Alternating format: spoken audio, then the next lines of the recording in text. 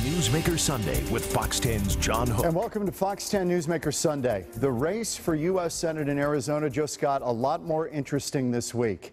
We knew Kelli Ward was in after Jeff Flake announced his retirement last year from the U.S. Senate. He's on his way out. Who will replace him? We know Kyrsten Sinema's in on the Democratic side.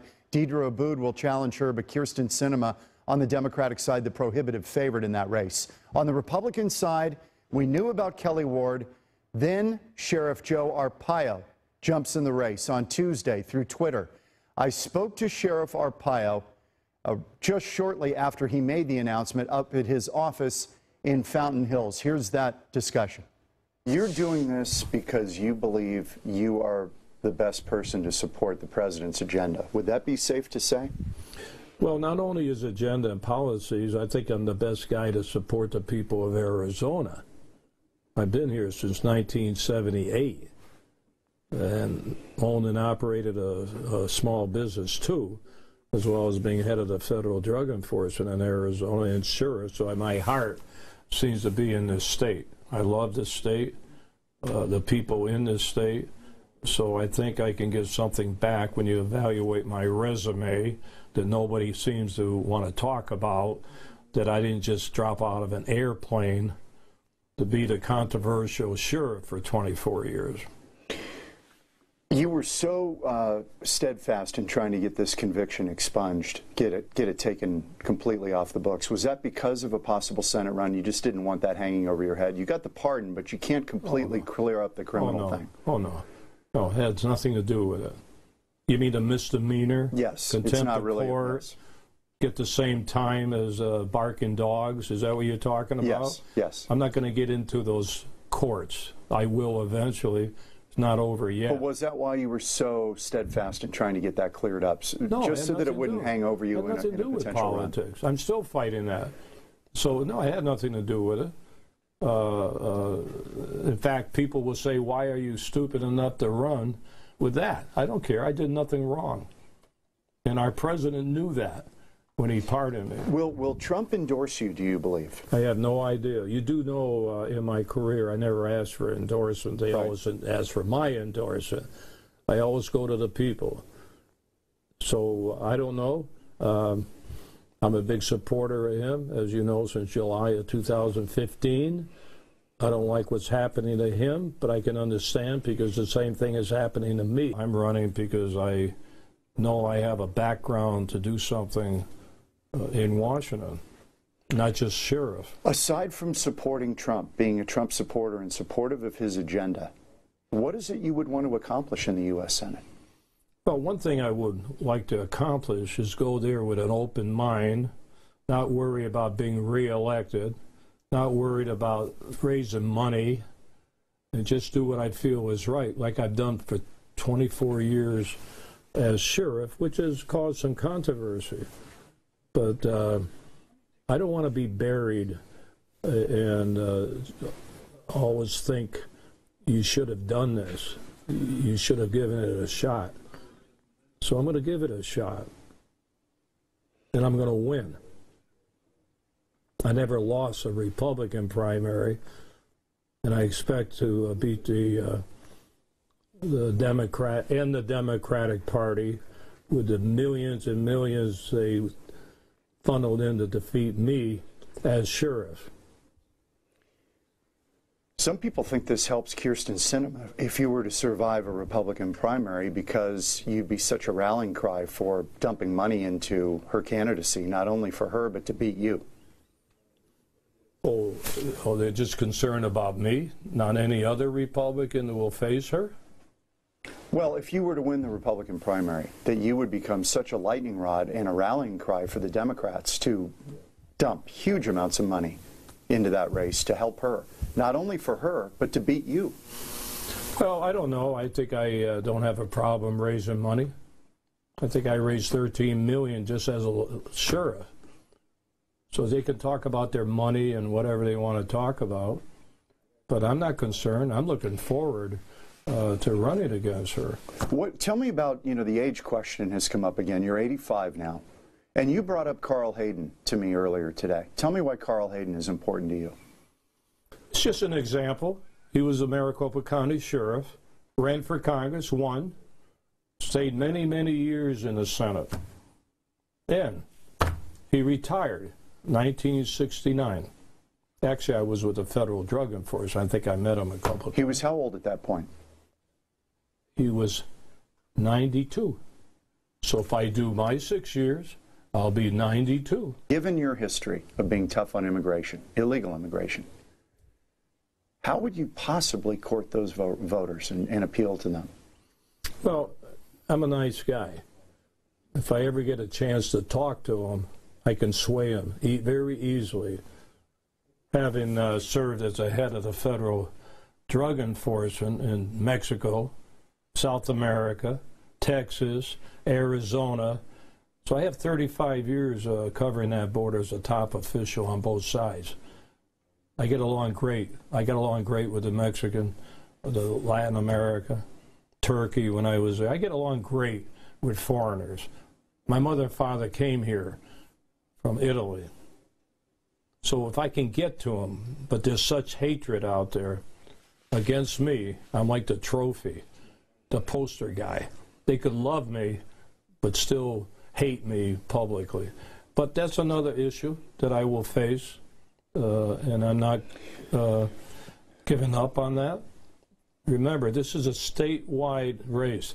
It's not a Maricopa County only race. I've been very strong in this state throughout the years.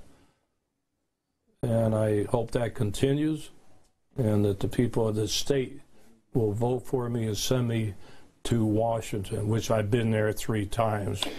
For the people who are going, you're going to hear this over and over, that it's about your ego, that you can't walk away from the limelight. You just have to have this. It's like your oxygen. You have to be in the public realm.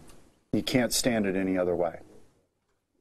Well, uh, you talk about ego. Uh, what am I concerned about? I'm in the paper and media every day. I've been there. You think it's nice to uh, have your wife or your family or your supporters to wake up and see the hit pieces they do on me constantly, the media? They never say nothing nice. They've been after me for years and years. No doubt about that. There's a big newspaper that's been trying to destroy me for 12 years. But that's okay. I still survive. I deal with the media, thousands and thousands and thousands of interviews. I don't have to do that. I don't run a CIA operation. The reason I deal with the media, I want the people to know what I'm doing. You can't always get it through the media sometimes, but at least if you let them know, I don't run a secret operation. But you're saying you don't need this for that reason. Well, you know, I'm human like everybody else, John. I don't know if you believe that. So I have feelings too, you know. Okay? Of you course think you I have no feelings? No, of course I. I Now, don't. when I wake up and see a media headline that they know is garbage, I'm not talking about just a local. I'm talking about national. They've been hitting me the past year over and over and over. So I don't need them, but I talk to them. I talk to them. So what, what ego? I mean, what are you going to do? You guys forgot me the day I left office anyway. You thought. You thought. But that didn't bother me. Didn't bother me at all. So you think uh, you think if uh, when I leave the Senate that people are going to remember the day you leave? Let's see how long they remember Flake or all these other uh, people. How long they remember governors? They all leave. They're gone. But I don't do it to be known. Come on. Everybody knows me in this country anyway. I sure don't have to run for office to be known. Former Maricopa County Sheriff Joe Arpaio is in. This is not a lark, he's serious. Then we learn on uh, Friday that Martha McSally, the congresswoman from Arizona District 2 in southern Arizona, the Tucson area, is also into this race. We're going to hear from her later, but next. Joining me live in studio, Dr. Kelli Ward. Back on Newsmaker Sunday in a moment.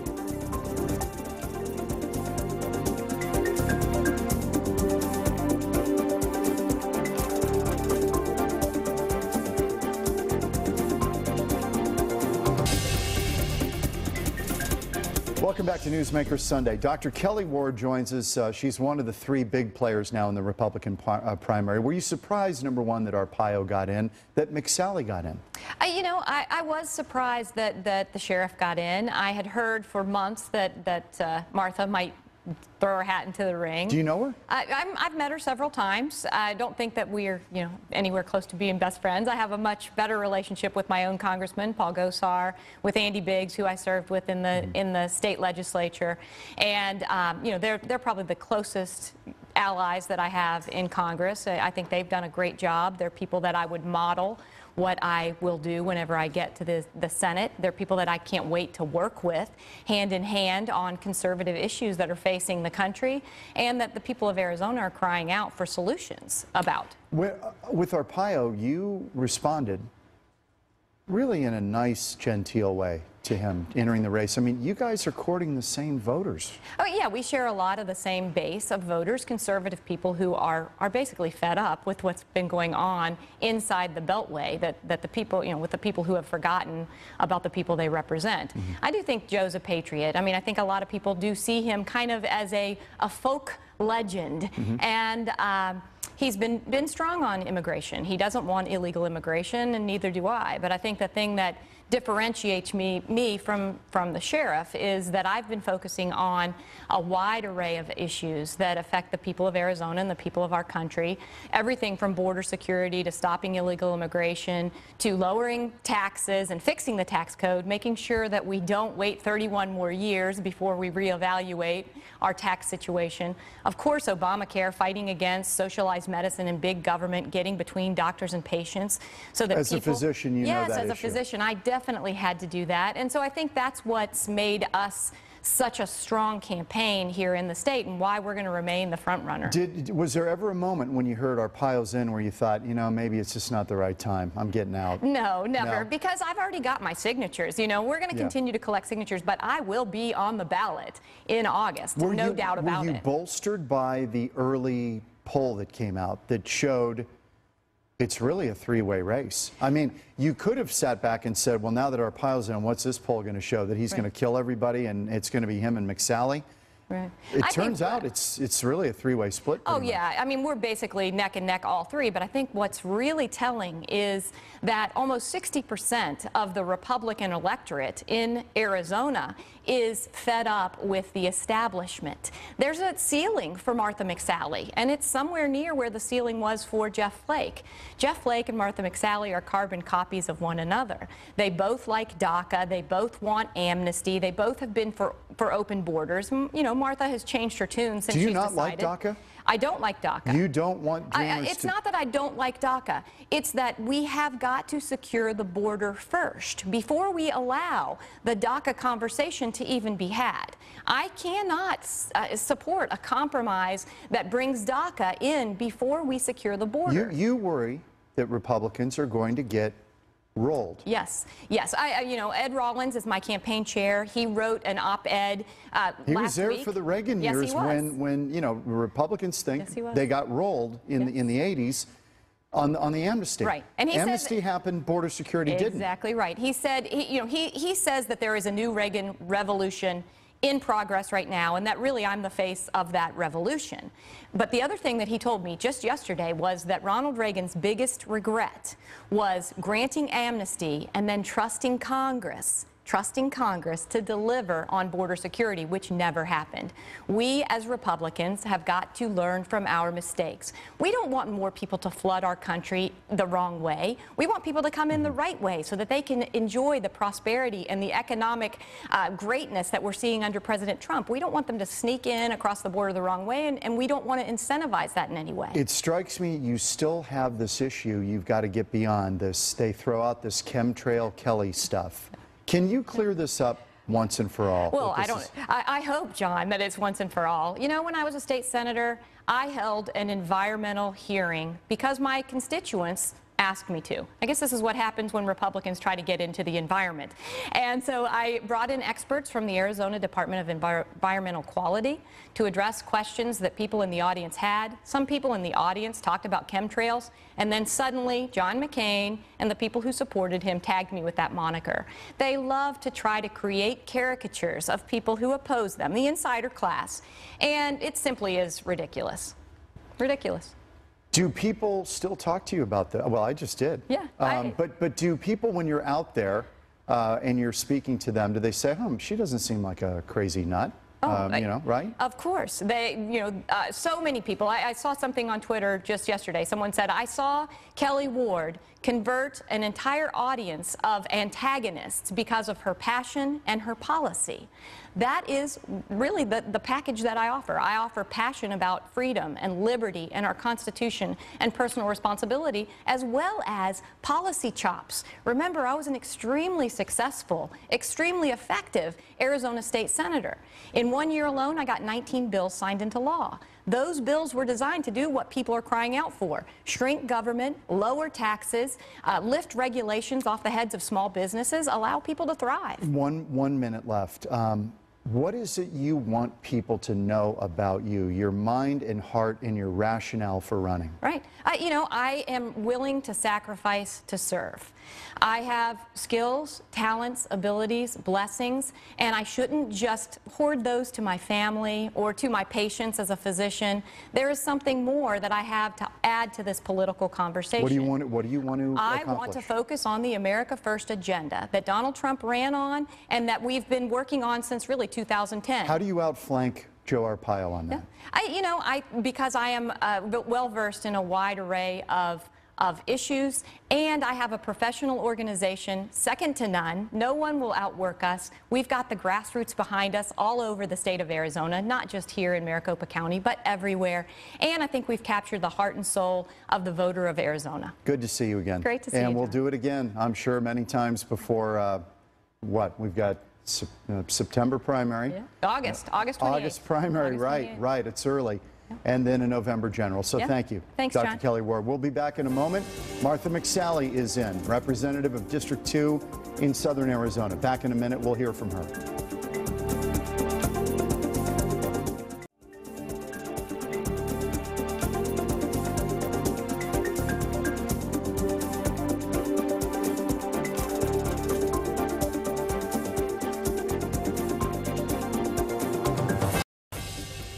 Back on Newsmaker Sunday, the Senate race in Arizona has gotten very, very interesting. Arpaio's in. This is on the Republican side. Kelli Ward is in. And then we hear that Representative Martha McSally is in on Friday. She barnstormed the state, Tucson to Phoenix to Prescott, to talk about her candidacy. As of today, I am a candidate for the United States Senate for Arizona.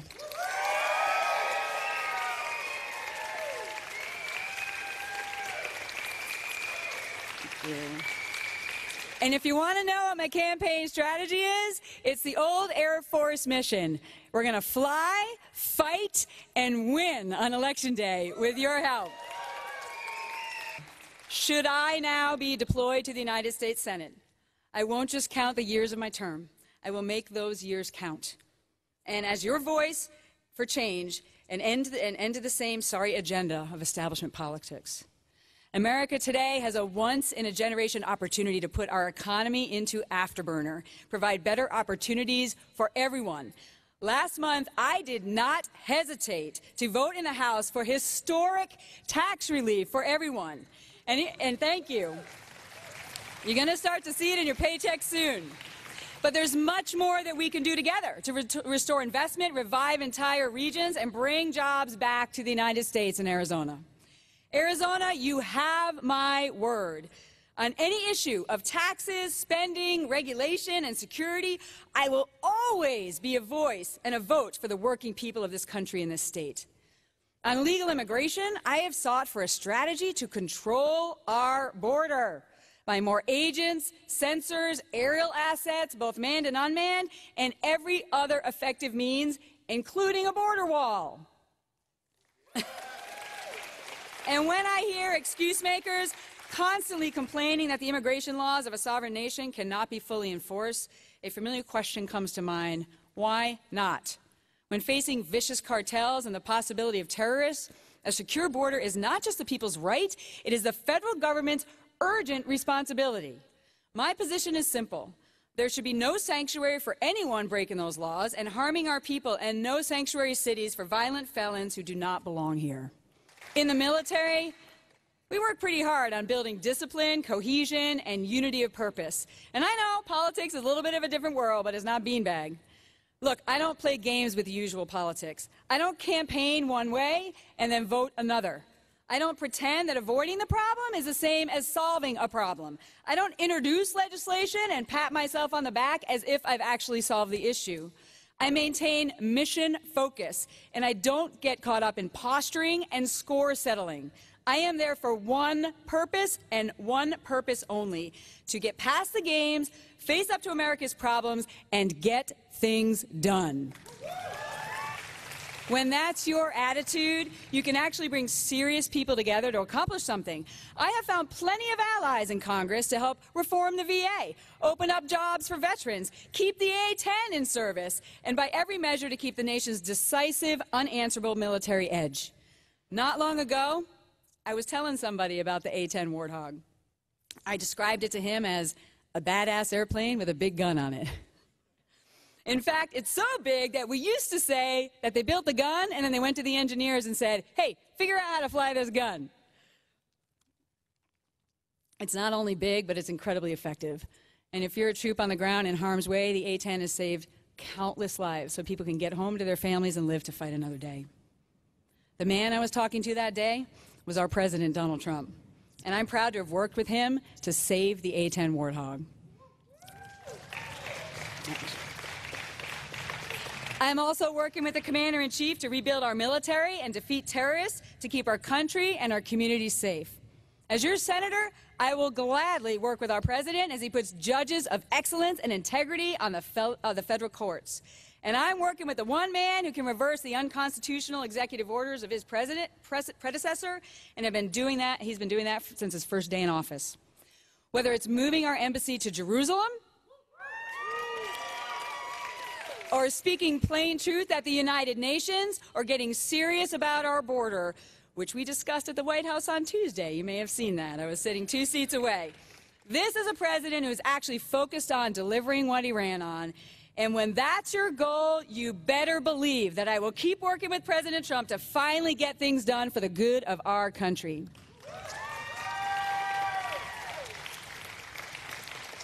I go into this race as a proud Republican, but even more, as a believer in our country. Challenges and differences can bring out the worst in us, or they can bring out the best. In these days, whatever our political party, nothing but the best will do. I will be that kind of candidate so I can be that kind of senator for Arizona. If the campaign ahead looked easy, I'd feel a little bit out of my element, honestly. this is a statewide race with national consequences. And I'm going to run as if the balance of the Senate counted on it. And it does. I am going to make sure that every voter knows who I am, what I believe, and what I have done in my life of service. I will run with heart, giving it my all and nothing less. I will speak to everyone and I will listen to everyone and earn their vote and not take any of them for granted. In friends here and across our state, I've got wingmen and wing women as fine as they come. Stay close, because I'm going to need you. It's my responsibility at the end of the day, though. It's on me. It's my mission to see this campaign through, whatever comes, to lead our cause all the way to Election Day. And I am ready. Are you ready? Well, thank you. God bless you all. And let's go out there and fly, fight, and win. Thank you. God bless you. It's going to be a fascinating, fascinating election season in this U.S. Senate race in Arizona. And we'll have it all here on Fox 10 Newsmaker Sunday. Thanks for joining us. We'll see you next week.